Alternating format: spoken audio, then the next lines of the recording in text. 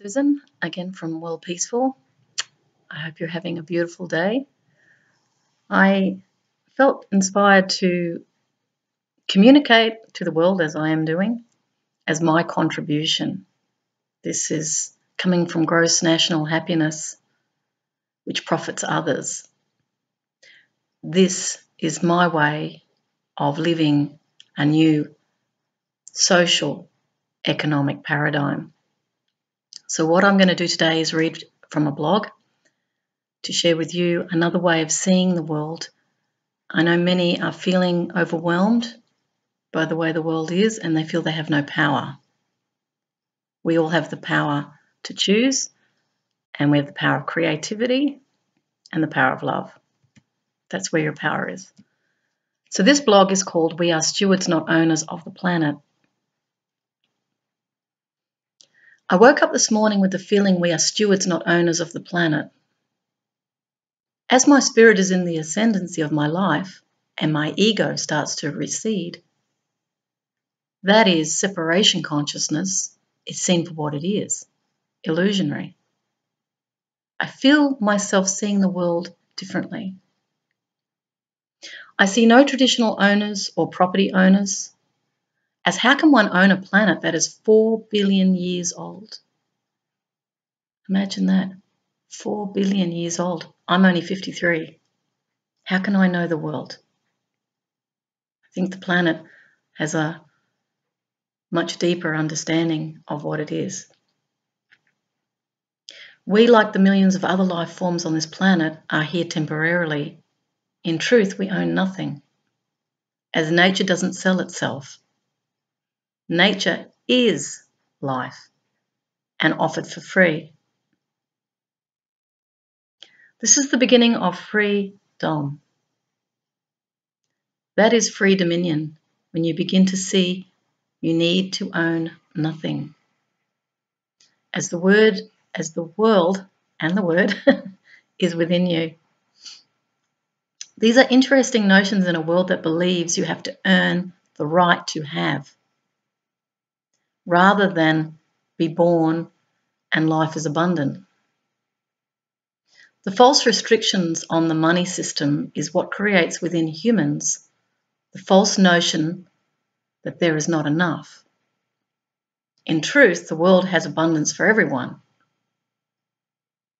The emergence of the economic system came from the barter exchange of goods and services. This was the natural inclination of people to exchange with each other to reflect changing preferences. Money came in as a system of exchange to make such transactions more universal. Interestingly enough, as soon as money came in and the simple notion of accumulation of money became rooted in the human psyche, greed was born. Humans by nature are giving. The emotional aspect and bonding of humanity is the true nature that gives. When we moved into the money system, the focus of this system was to accumulate more money so a person could get more interesting things and have influence. As the world opened up through trade and more cultures were visited, more material items were desired. The exotic silk route with the carpets, clothes, ornaments, trinkets, gold, jewellery, and what came to be seen as riches haunted the hearts of people.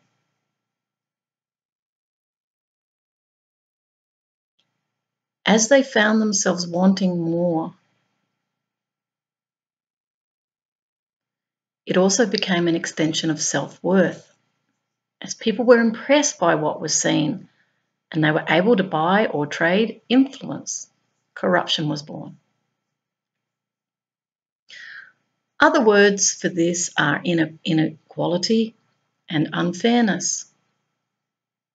We no longer shared equally with the group. We started to take more for ourselves, and the ego of humankind dominated.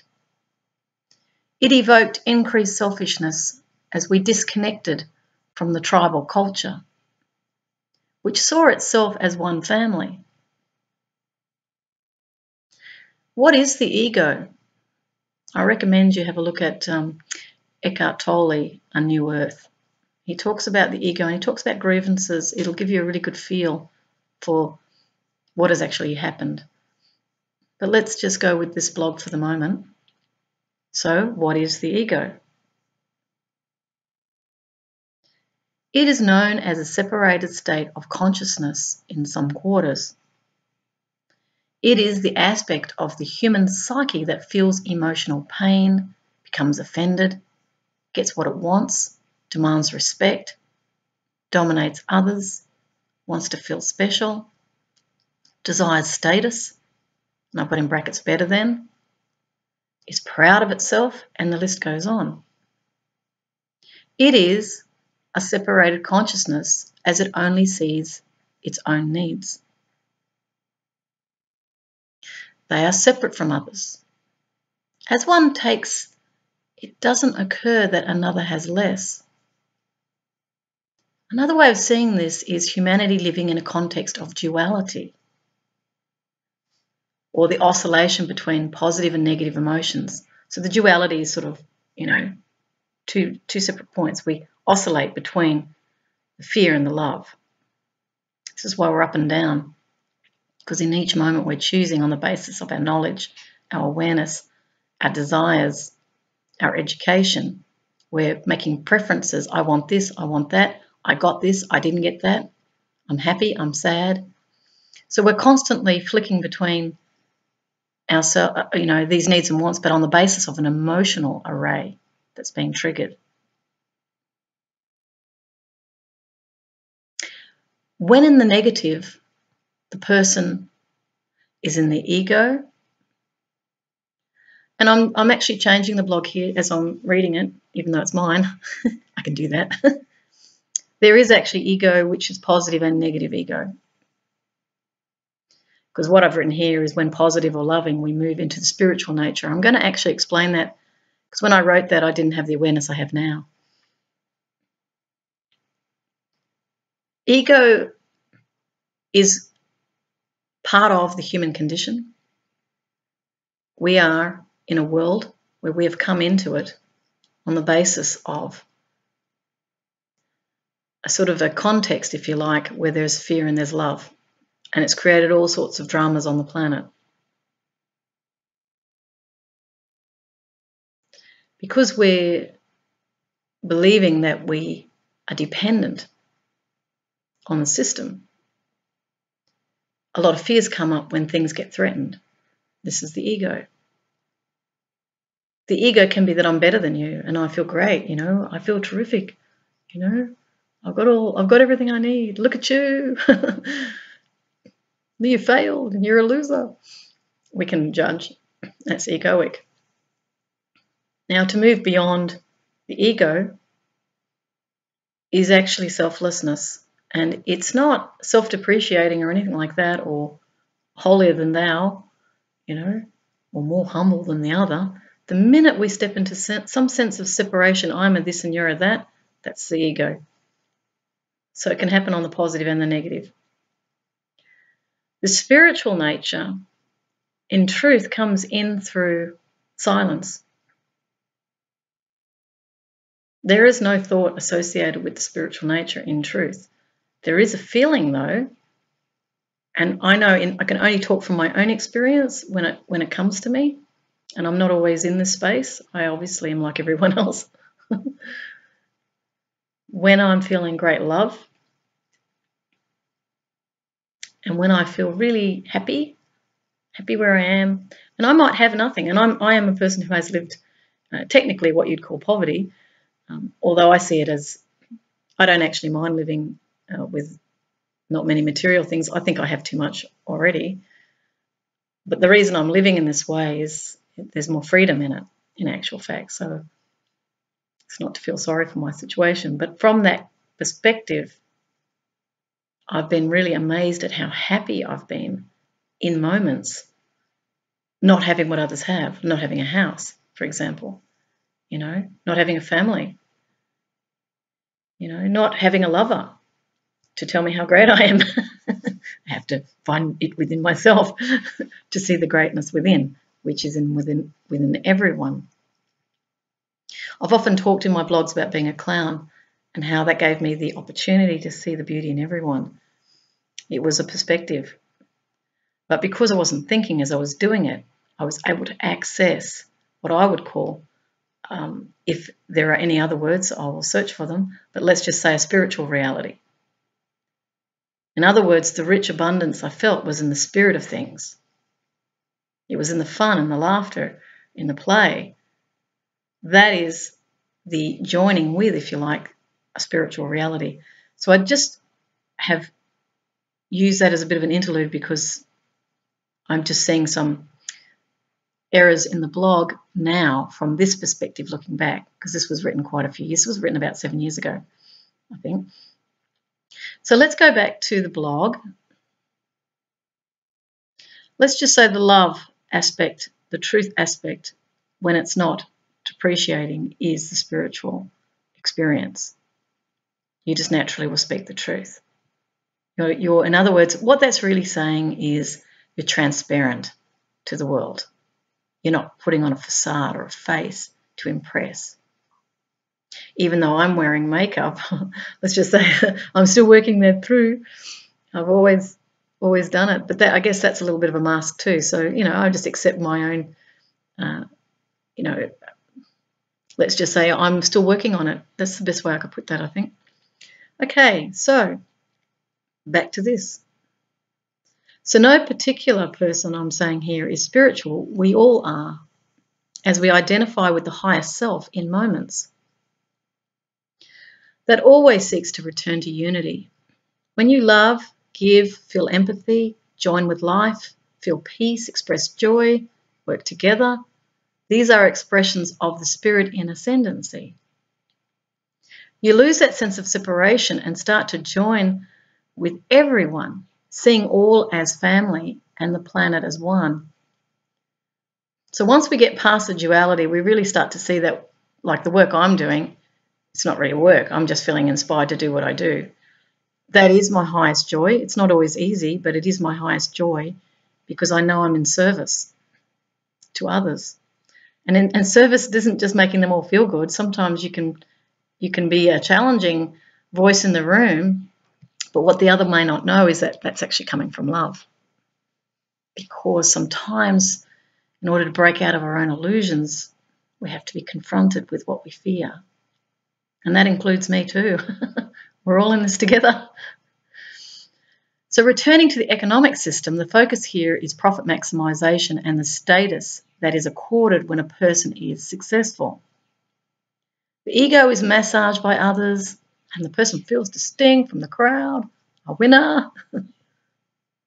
Interestingly, it is an illusion, as no person is greater or lesser than another. We are accorded the same value when born, and one's journey through life is to experience a dimension of life. Who is to say the person experiencing poverty is lesser than the rich person experiencing abundance? I'll say wealth actually, because the term abundance is actually a much broader perspective. You can be abundant and have nothing.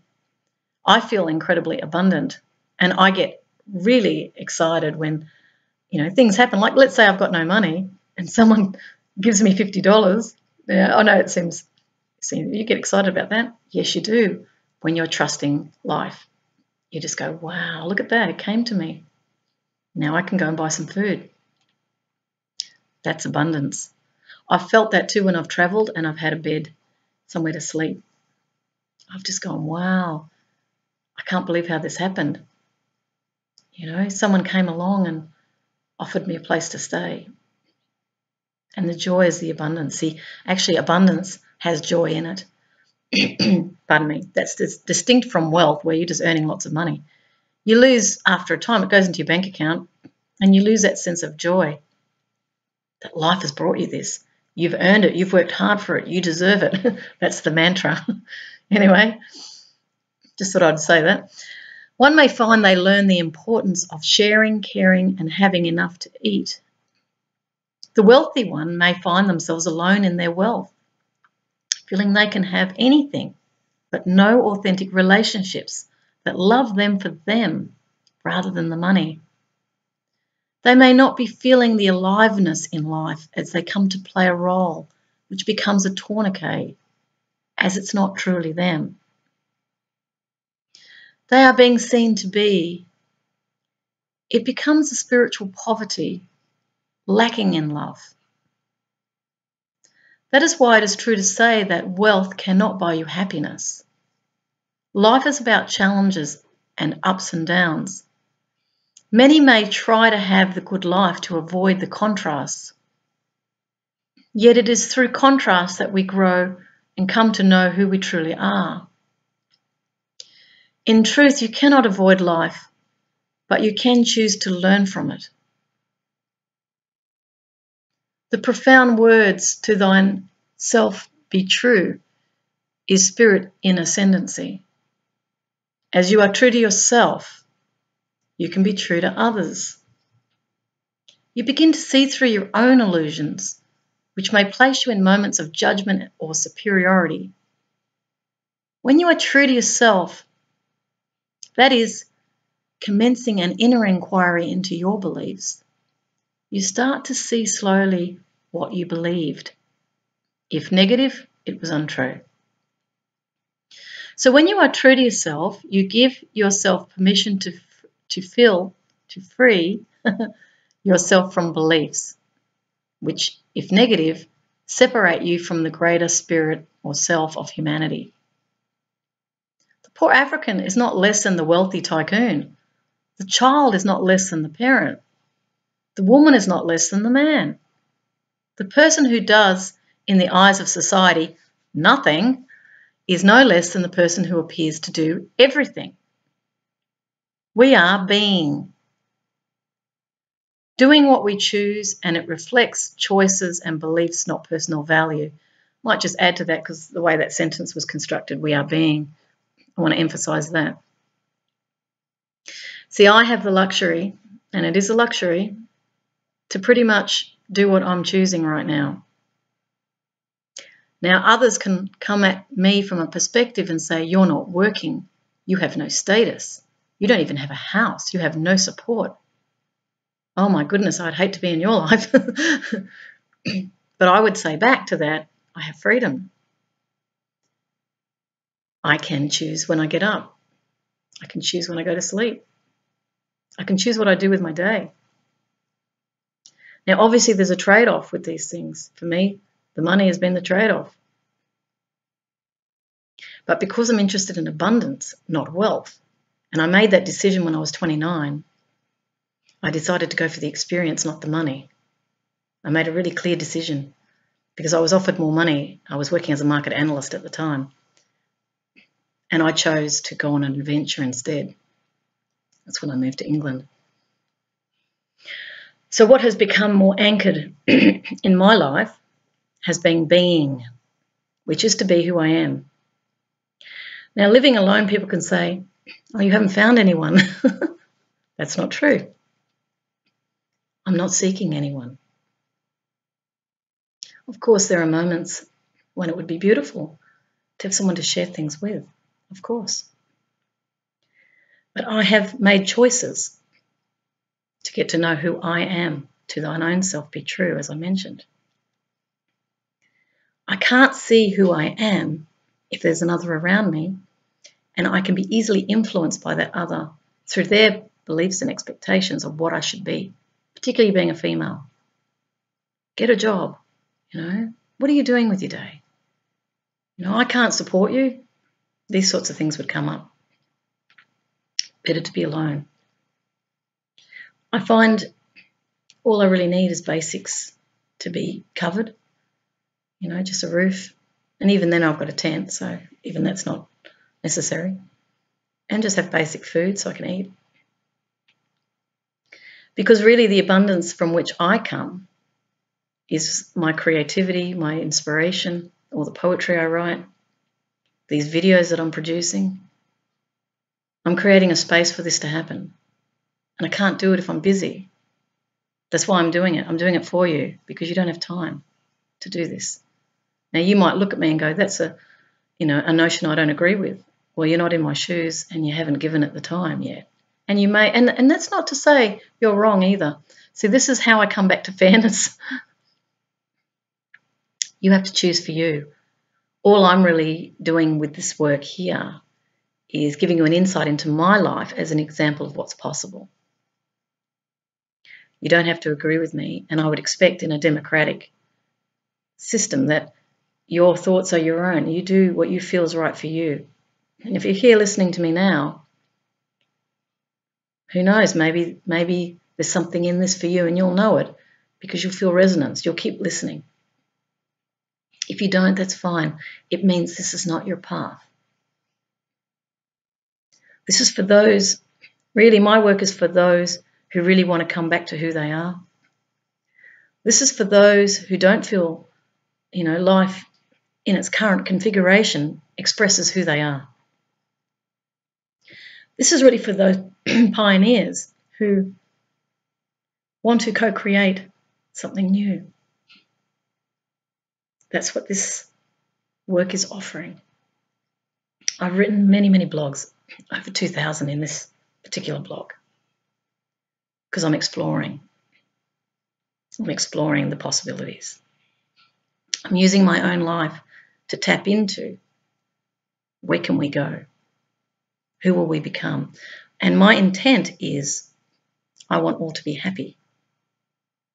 My intent is a future that's predominantly happy. Now, it doesn't mean it's perfect that you're always happy. You won't be. There'll be times when things disappoint, and that's part of life. That's normal. We can't all be cheerful.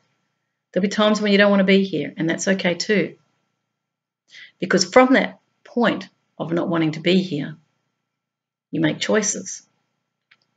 And I say to those who are thinking those thoughts, just wait. It's, it's okay to not want to be here, but just stay for a while. Just stay for a while. I know I don't regret staying. Each day, I just work it out each day, you know. But, you know, whatever happens, happens. It's part of the experience of living, of being. It makes you deeper. So, in some respects, um, or in many respects, suffering is actually a portal, if you like, to higher joy because it makes you face the things that have brought unhappiness into your reality. All of us want to go out of unhappiness and find happiness. But the unhappiness is there because we're out of alignment with who we truly are.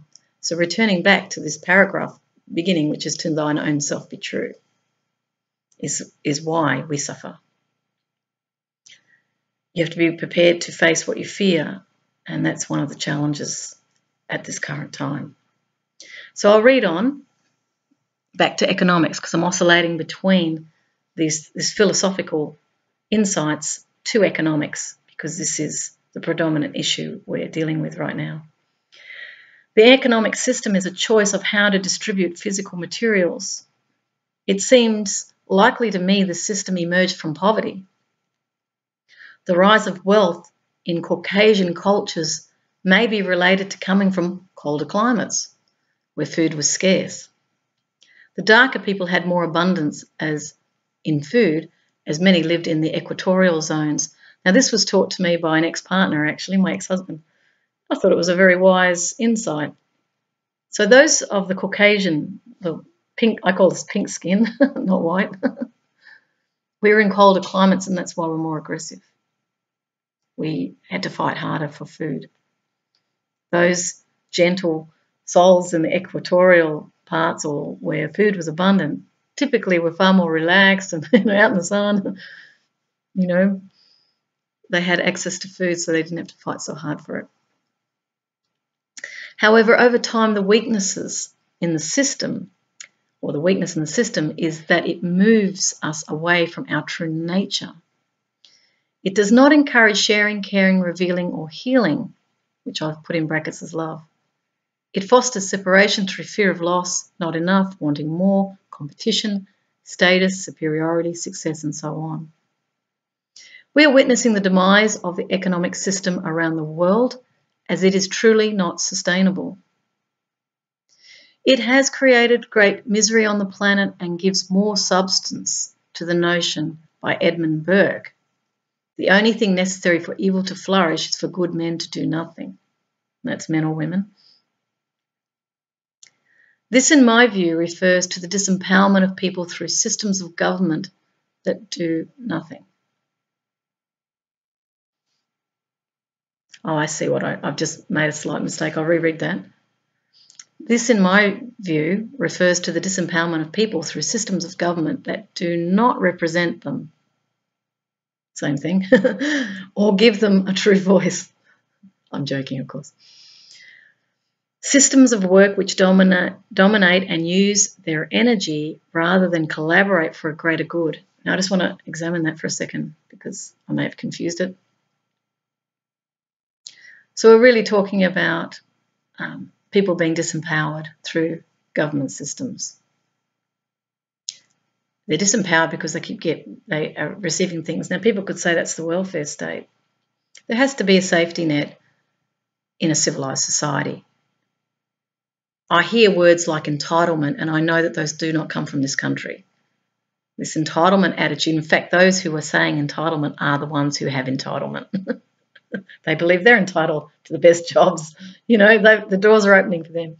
But they say that those on welfare are entitled, you know, that they, they're just sitting there dependent on the system. Well, yeah, there's truth in that, but they're also in great need too. So you have to find ways to empower them without force. You know, they haven't done that very successfully at this point. Then I go on to speak about the systems of work which dominate and use people's energy rather than collaborating for a greater good. So, this is where people feel, in a sense, in hierarchies where they have no say. They try and, you know, map out career paths so they have more respect, more status, more money. But ultimately, their energies get used. I mean, you think of all the hours you put into work. It's a lot of people working really hard. They have no time for their kids. They're too tired when they come home. They might even bring work home at night or for the weekend. They might do two jobs. So this is your physical energy being used. And this is why, and I'm just going to a bit of an aside here, artificial intelligence is being touted. They actually want to re remove all that because it's too hard. Better to get robots in and do all the work, and you, you can all eat cake. that's what I see. I could be wrong, but that's what I see. I see it just purely as self interested, what's going on. And that's interesting. And that's because those who are thinking in this way have no connection, you know, to the other. And that's what I talked about earlier, even, even in respect of wealth. You can be very lonely with piles of money if you don't know how to connect to people. And if you're caught up in, you know, hierarchies and false status, you're going to think you're superior and you won't want to associate with some, even though that other could be probably your best friend. That other could be the very thing that you need to connect with in order to know who you are, because that's your job here. To thine own self be true. The goal of this life is not about making money, although it's an experience, but it's not the whole life. So, going back to this, we have created dependent populations on systems of work. That's the same as welfare, by the way. You're just getting more money and you're having to work for it. Governance and resource distribution, which in the event of a collapse, do not know how to survive. So everyone's actually dependent it's a bit like an umbilical cord. We're all, and we, we, we shut ourselves down because we don't want to lose that income because we don't think we can survive without it. We've become dependent. So when this collapses, how do we survive? Is a big question. We don't even know how to, you know, really go out and fend for ourselves if we ever found ourselves out in the bush. Most of us wouldn't wouldn't know where to start. That's how dependent we are. We're domesticated. I go on to say they have low resilience adaptation. That is not to say the knowledge is not out there, it is, but for high proportions of people, they have no clue how to grow vegetables and build a house. I include myself in that group. you know, clown. I, I, might be able to make everyone laugh as they starved to death, but no, I'm joking. I don't know. What can I offer? To say, don't panic. I'm into peas. what I found interesting in my experience of this system was the task oriented nature of it. I saw a documentary the other day on the world of work. The person was followed through their day. They found it hard to get up at 7 a.m. I can relate to that. They are not choosing naturally to get up. They are forced if they want money. This is the first addiction that moves us. Then he goes to the office and sees the same faces. No one says good morning. He takes his place at the workstation next to the other guy.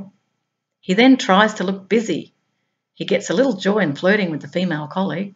Sexual harassment? Oh. Just joking. you can flirt. It's okay. You can flirt.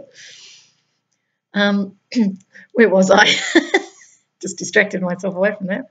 So he, he has a little bit of a flirt with the, the girl. He tries to invent ways to speed up the day, walking around the office looking productive. He finds himself endlessly waiting for the clock. It's actually watching the clock. Mapping his day by morning tea, lunch, afternoon tea to try and make it go faster. When I watched this film, I smiled, and I'm smiling now, as I knew the reality intimately. And in fact, as I was reading that, I was remembering all the companies I've worked in. Of having worked in up to 400 companies myself, I used to yawn so much. I had tears in my eyes, and for me, getting up was really hard. I'm a night person. I would go to work, grab a coffee, then go into the toilet and try and get away from the computer. Time to think for myself. I would have conversations to just kill off the monotony. I was not interested in what I was doing at all. But I was told I have to work to make money. I found myself in a system where I have to pay for where I live, buy food, buy clothes, enticements all around me to buy more. Marketing, of course, is the mover of all goods and services and oils the system globally. I'm a market analyst. I knew this. I was trained in marketing. The creation of demand. Now, this is not, just want to interlude here. I'm also an economist. The economic system was really about price signals set by demand and supply. Companies supply it, you demand it. There's a price, they call it an optimal price that's set. It's where, it's where demand and supply intersect. So in, the, in that cross that you can see, price would be set. So we'd have this as P, and this is or D, supply. So where it intersects. Now, obviously, the tension here is business organisations want to produce more because they want to make more. More widgets is what we used to call it. So they need to market to you to get to buy more and more and more. But there's a problem in this, and this is why this blog was created. You have to have the resources to supply. So the greed inherent in profit maximizing, I need more, more, more, and status also um, is an aspect of this. Look at my house and my beautiful things, and look at my clothes, and I'm a person of power, and doors open for me, but not you. you stay down there. And that's how the game's played out, you know, the class system. And I do laugh because I see the game in it. I know it's not true, of course in the sense that nobody's superior to anybody. But however, the system is set up to market to you so you will buy more. So I go on to say that's the creation of demand.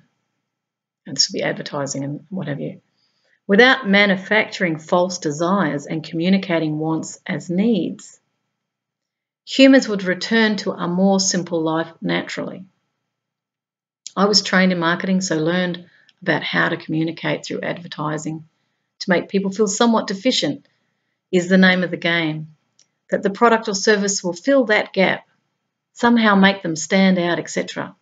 The more they buy, the more wealth is generated. All of this is recorded as GDP, in our case, gross domestic product. In other countries, it's gross national product.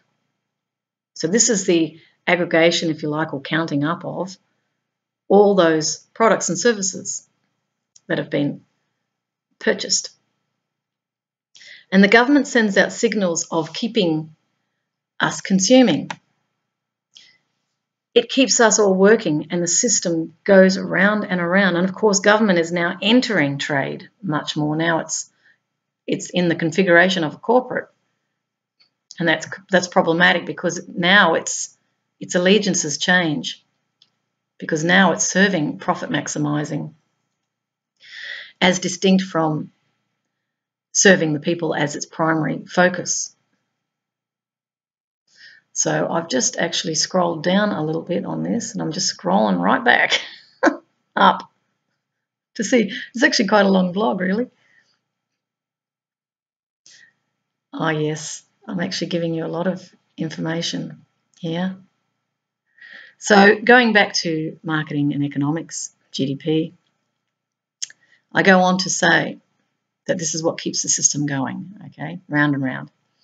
It's fascinating to watch the traffic snaking its way into the city. When I lived in Brisbane, I'd watch from my balcony, sometimes at 4 a.m. or 5 a.m. in the morning. Through the mists, mist, the endless lights of cars going to work, I wondered at their lives. The problem with the working scenario and the need to work as a means of survival is that it conflicts with the true situation that we are born free into a free world. Human beings feel the pull towards their nature to follow their own rhythm. Yet through the social norms, education and structure of the economic system, we have created winners and losers. The losers don't have jobs and are seen as failures. They do experience impacts on their social standing and whether they are invited to dinner or not.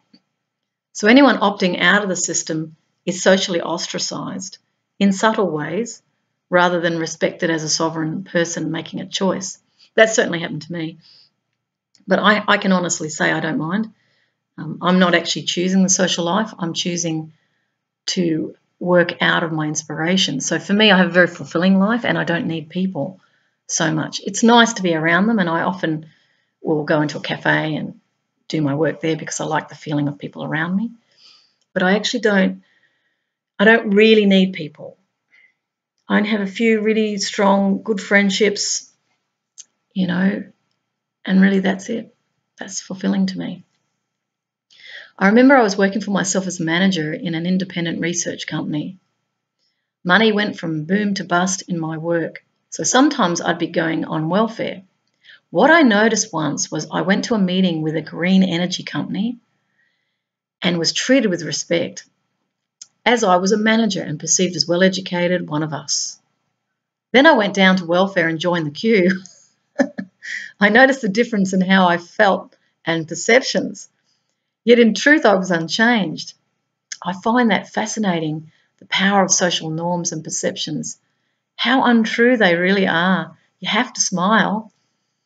Another experience I had when I went on welfare, I had been teaching at a TAFE college and my partner had to go to Canada to care for his mother dying of cancer. After paying his ticket, I had no money for myself. So I went and lined up. One of my students was in the group who came together to talk about benefits. She was shocked to see me unemployed. I was slightly embarrassed, but not much, to be honest. Over the years, I've been on and off welfare, but I feel no social stigma at all now as I fully accept it and I am grateful for it, or I was. I'll tell you a bit in a minute. It was given me the, it, it has given me the opportunity to be with those who are not the economic winners, and I'm able to see the other members of my community from different countries, single mothers, youth, elderly, and so on. I have no ego attachment at all to status now. I actually look forward to going and meeting the people. Now, that's when I was on Centrelink, which is what we call it in Australia. Today, I'm actually a conscientious objector. Um, after watching the 730 report, which is an ABC program, who were outlining rorting uh, by the Job Services Network, which is a privatisation of welfare here in Australia. Essentially, they've set up contract type systems where private companies get a job seeker onto a contract and their contract with the job seeker and the government is to facilitate, you know, employment opportunities. There's also training involved to some degree, and there's also programs which are controversial, like Work for the Dole, which is working for nothing. It's an interesting one. And there are obviously benefits in respect of training that can happen and so forth and so on. But for myself, when I heard of the rorting in the system and the fact that the companies were still trading, they were still in contract to the government, there had been no repercussions given that they had falsified job seeker records in order to make more money, was what happened. Now, I wrote to the government and I explained that I was a conscientious objector. And also, it raised questions of the Constitution, Section 51, subsection 23A, I believe it is, which is the obligation of government to provide uh, income support for people in a whole various ways disability, unemployment, age pension, I think. Now, what was interesting to me was how was it that you can be cut off um, a situation like this, cut off welfare, by objecting to corruption in the system. And I haven't had that question answered yet, and I've still chosen to allow life to carry me, is the way I'm putting it. I really feel strongly about not going on. I don't wish to participate in something, and that's my vote, that I think is unfair. So, why should a private company maintain a contract when it's been found to be rorting falsifying information. And yet, if a job recipient, a job search person, unemployed person, if you like, breaches by non compliance in that system, they're cut off from life support. That's what my objection is. Now, the company is not going to be languishing in poverty when it loses its contract, but the person who is dependent on that income, just as someone from a job would be, they end up in serious poverty, which is what happened to me. Although, because I have a spiritual reality, I'm actually not panicking about it. I'm testing it. So I'm just letting you know that part because my circumstance did change and I was talking about welfare then. So, moving ahead with that. My life has become a journey, not a statement of success. I see success now in terms of self determination, being true to myself, living from my own rhythm. As I return to what is natural, I return home. This means letting go of attachment and perceived self worth through external influences. I become my own self worth by learning to love not only myself but others I need nothing from others to feel good about myself. So, in truth, no one owns anything. It is a system set up by humans that says we all agree that when we pass these notes or coins and call it money, it means you can have something in exchange. It was originally not about social division and better or less, hence class status. It was simply to exchange items as an efficient means of sharing diversity. If you do not have notes and coins, you have no right to it. You do not own it. The key word in the sentence is rights, uh, um, property rights. Through the money system created notions of poverty and wealth. These are notions. It also created crime as anyone stealing, what wasn't theirs was a thief, even if that item was bread, as they were hungry. The system of property rights was clearly unnatural as nature distributes equally. Nothing is excluded from nature's bounty unless there are natural changes such as drought or flood, etc. Rights means I cannot walk into a paddock as it is owned by someone that per person may have the right to shoot me for trespassing. Let's hope they don't. I cannot sit at a table in a shop. I must purchase something. I have no right to the freedom of movement to simply move across my planet. If I wish to travel to places across the ocean, I have to have documents that give me permission to travel, as the notion of nation state is born from conquest and ethnicity. so your ethnic group. So human beings divide the planet into nation states and name them. People identify with the name and can be induced to fight for, the, for their nation. In truth, they do not own the land. The land is 4 billion years old. We live to 80 years old on average, some less. If we are the winners in the first world, perhaps uh, that we live to 80, that is, perhaps 40 to 50 in the third world. Thus, we divide and restrict what was naturally abundant and free. The restriction of human beings can distort behaviours. As we are restricted, we feel subconsciously or consciously a sense of not enough. When we feel that, we feel what we want more or resent those with more. Some even admire those with more thinking. They are smarter. I like the way I read that sentence. Some even admire those with more, thinking they are smarter. I've heard that comment, oh, that person, you know, they're academic or expert. Oh, they know what they're talking about. Well, do they? Well, and I don't depreciate their research because I'm a researcher myself. And yes, you do get insights, but somehow marrying it up with experience, I think, is a far higher intelligence. So, in other words, if you're exploring poverty as an academic researcher, go and live on the street for a week. That will give some substance to your article. So I go on to say to want more evokes the desire of greed. At a deeper level, starving, starving off poverty or not enough. So yeah, they're, they're really going for it, but deep down there's real insecurities about not, not having anything.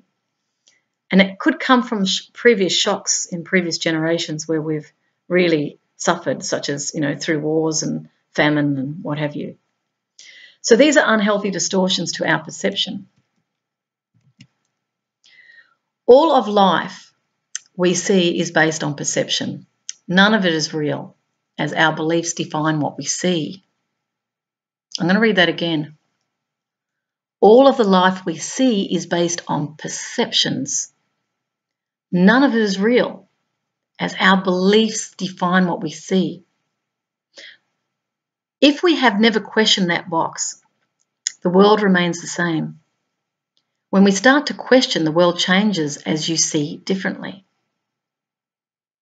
That is what is meant by when you change, the world changes. I've written that a lot in Twitter as well as my blogs. It literally changes. For me, when I stepped out of work and started to try to go it alone on my own, I found my creativity emerging. My sleeping patterns changed. Hmm. my poetry expressed my deepest feelings. My questions became more and more as I began to explore the world outside the current paradigm.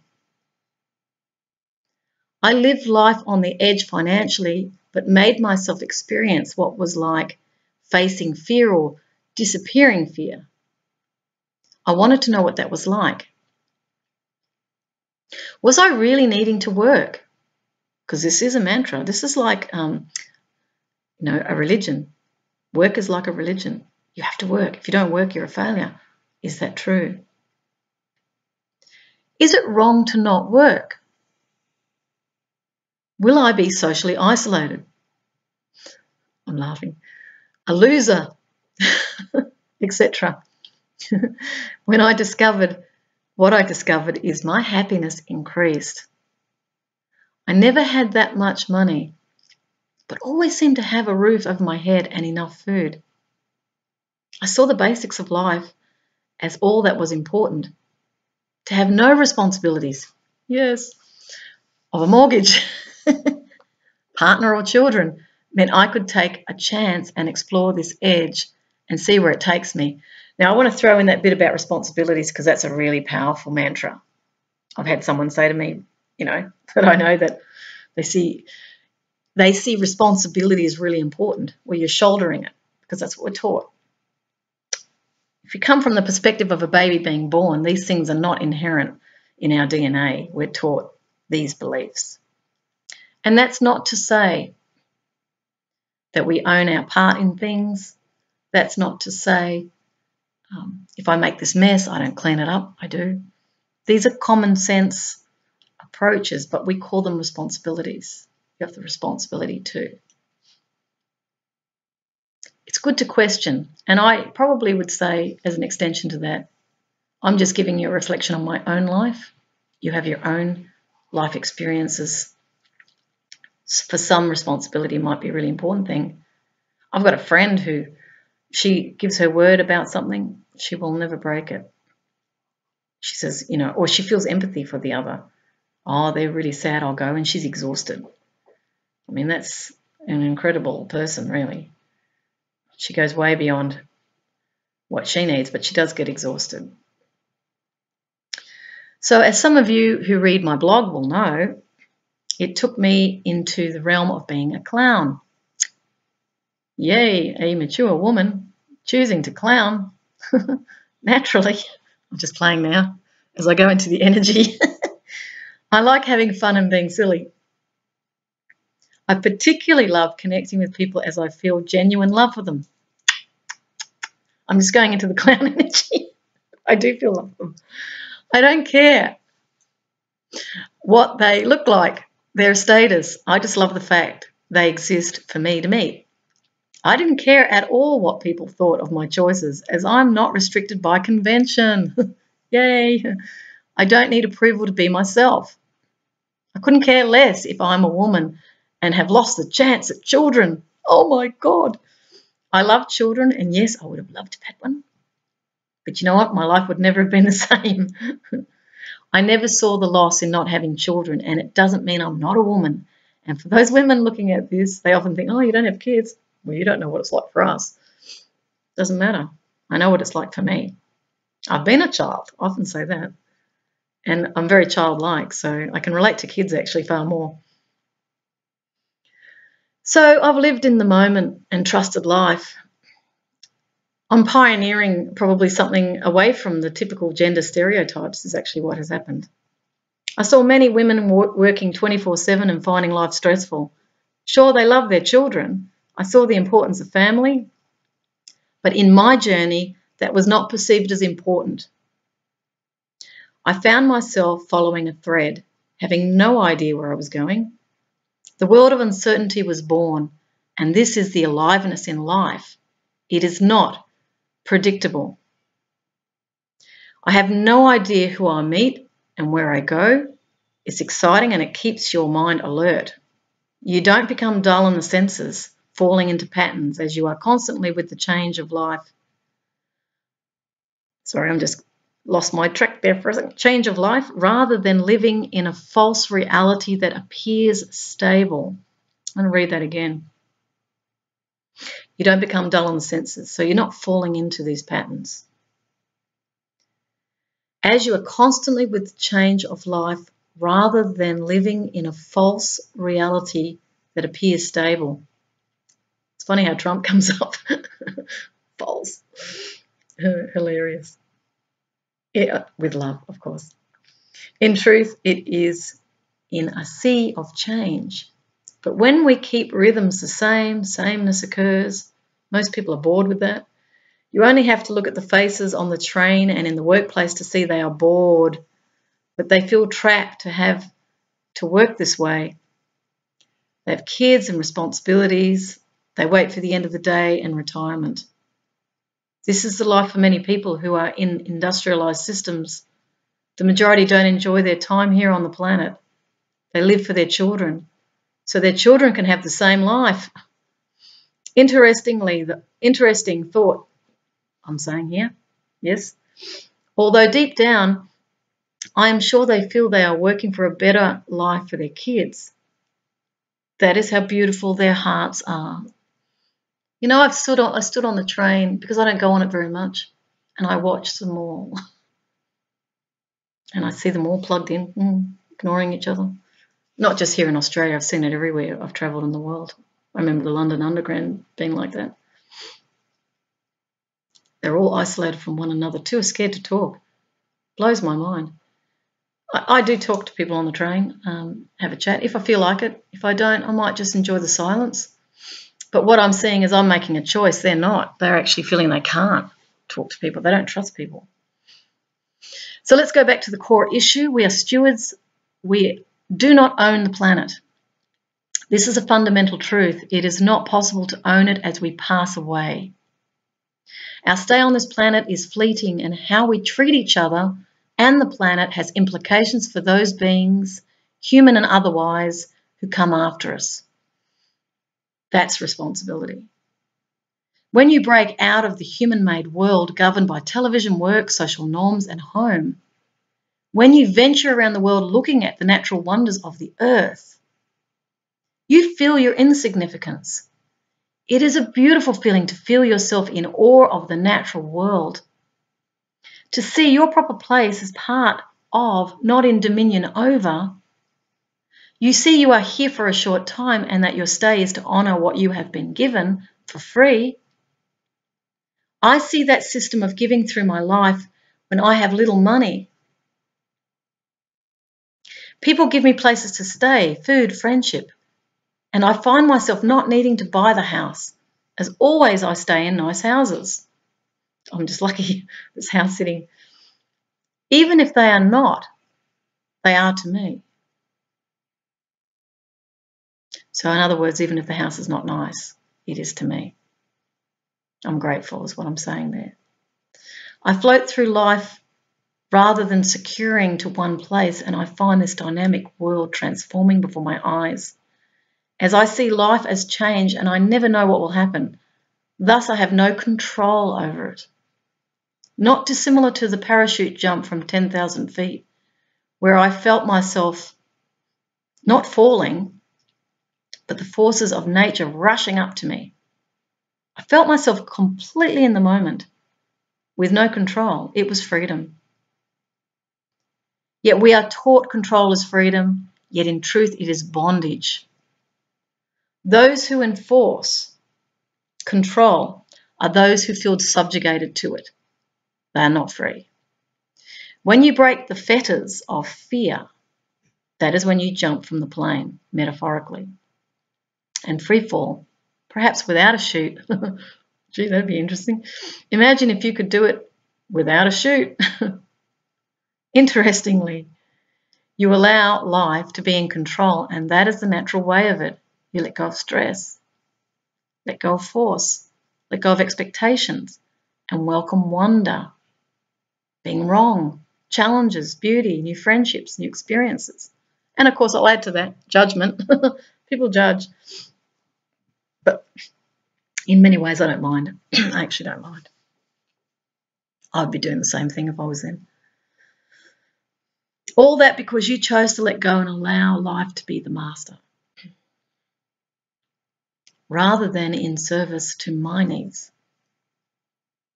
I'm beginning to serve the planet as service is natural. It is love in action.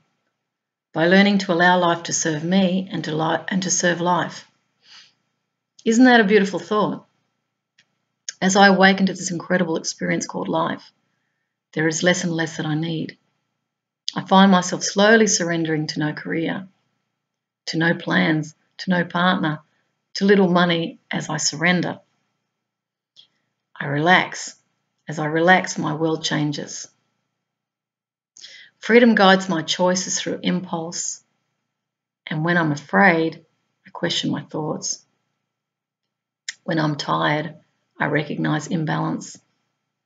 As I attempt to find harmony within myself, it translates into the planet as all life is connected. We breathe the same air that Buddha, Lao Tzu, Einstein, Jesus, Muhammad, Rumi breathed. For we are living as the one breath. All is interconnected. The cities appear separated, but in truth, they are part of the dynamic change. As the earth changes, intensify, the rhythm of routine will be disrupted. A little like the glitches in the matrix, I feel. People will be forced to question, which they are now, as they are losing faith in the secure world they thought was real, to find truths emerging. The illumination of truths is occurring in alignment with the earth changes as we are entering an evolutionary shift. With this shift, our whole world will change and many will wake up. No human can stop the changes. as they are not human induced.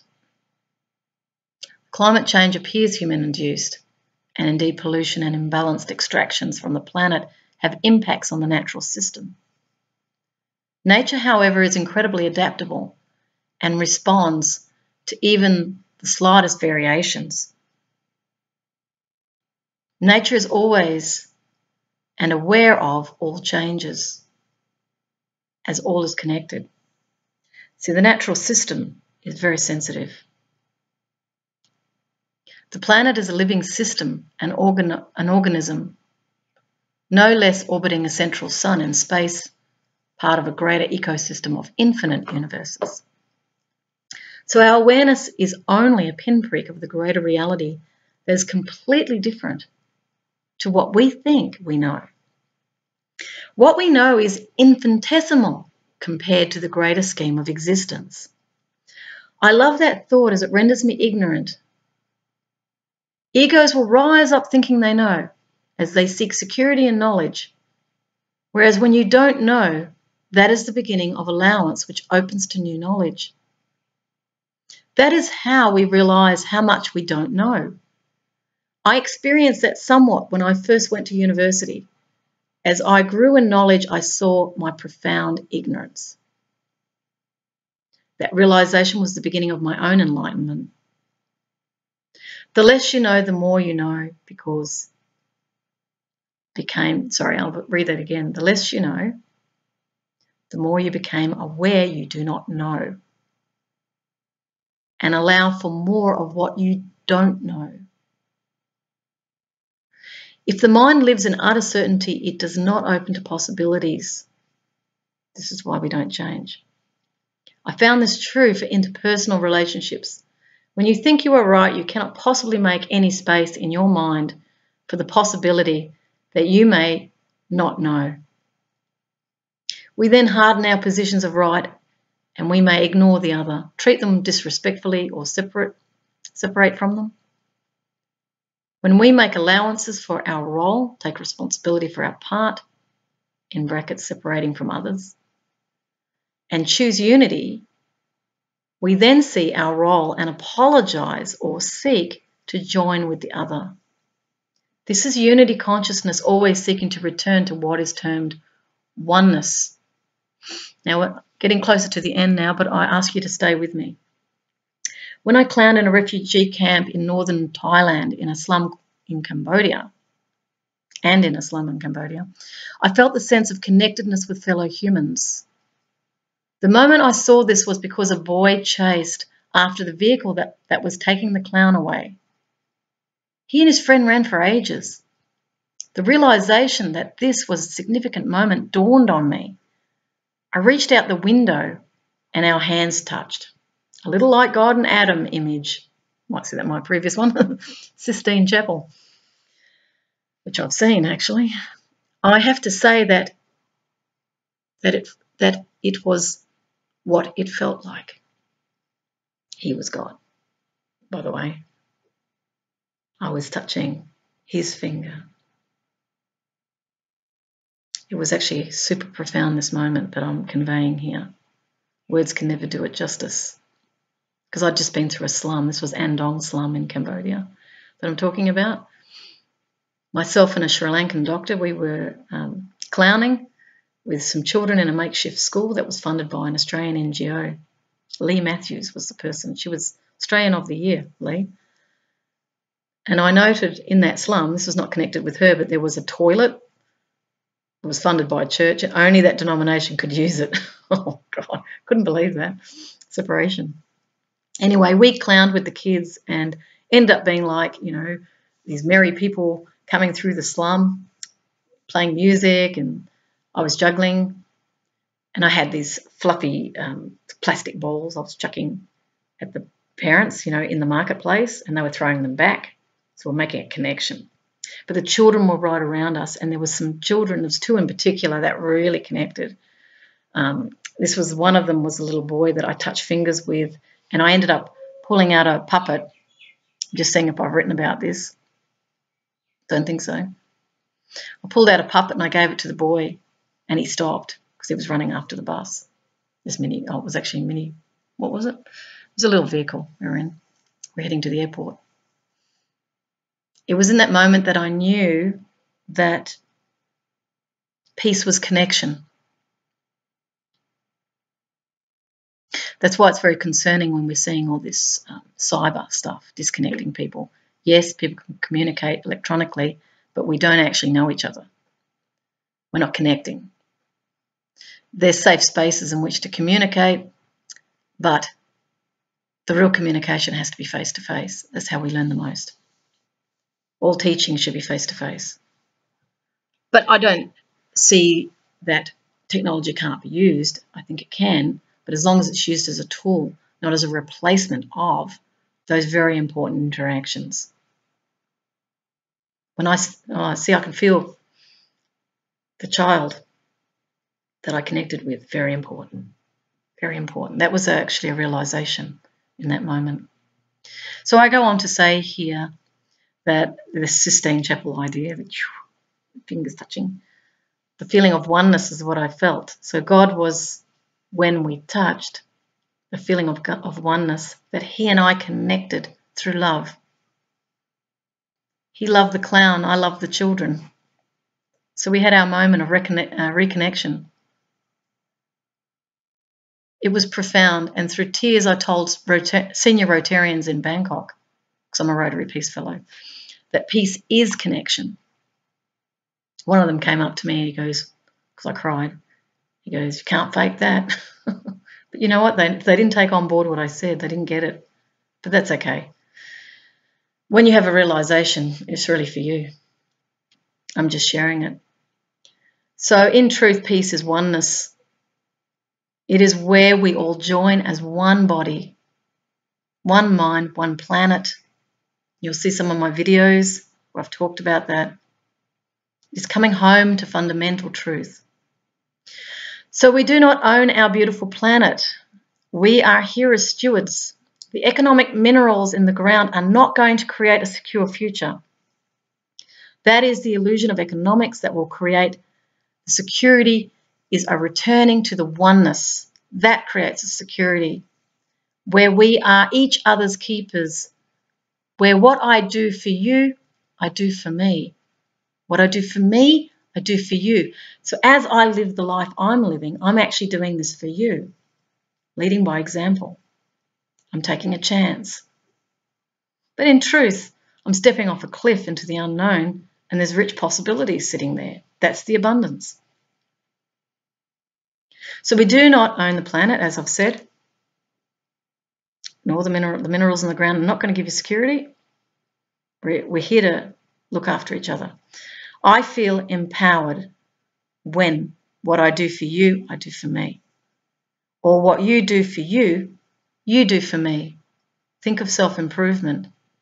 The sense is that we are one. It is not selfishness, rather self awareness. Rather than let me take as much as I can from you and feel like a winner, when in truth we are part of the one system as I take from you, I take from me. That is why we are uncomfortable about the starving millions in Africa, India, and China. I've got in brackets the later floated into my mind because a lot of impoverishment. China's massive. What is it? 1.6 billion people, all different nationalities within the one. We walk past such horrific poverty, deformity, and beggars, averting our eyes as we don't know what to do. The problem seems so enormous, and we do not feel connection with the person begging on the street. As a clown, you do. You bend down and ask them, as I have done many times. I've told a beggar I'd been homeless, and he sat with me, he joined with me, and it was like respect. He respected me. I was, I was very surprised. He's saying, You're like me. Who would have thought that?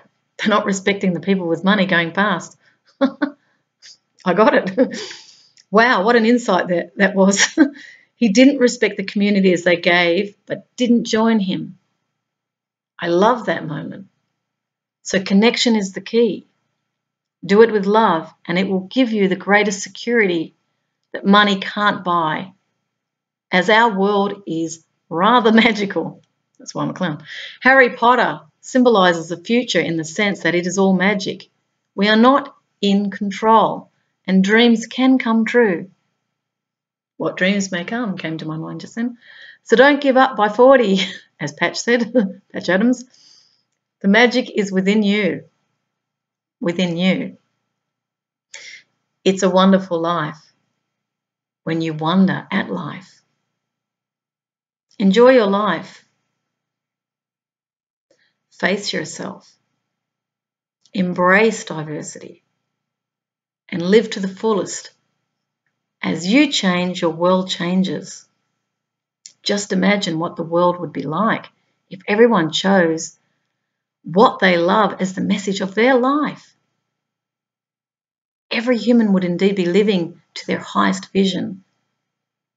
It would make the great philosophers and thinkers look like child's play. Everyone is great. Patch said that. When they let go of fear or step off the cliff, to not fall but fly, I just changed that slightly. So that is my story for the moment. Connectedness is the key to peace on this planet. We are one. Question the paradigm you're living in.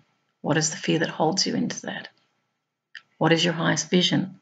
Is it true that you can't be the change you wish to see in the world? Is it true that you cannot make a difference? Is it true that you have no choice and no power? I say to you, you have a choice, always, and that's your power. Love will be the guide that sets all free. Tap into love, question everything, and go with what feels right.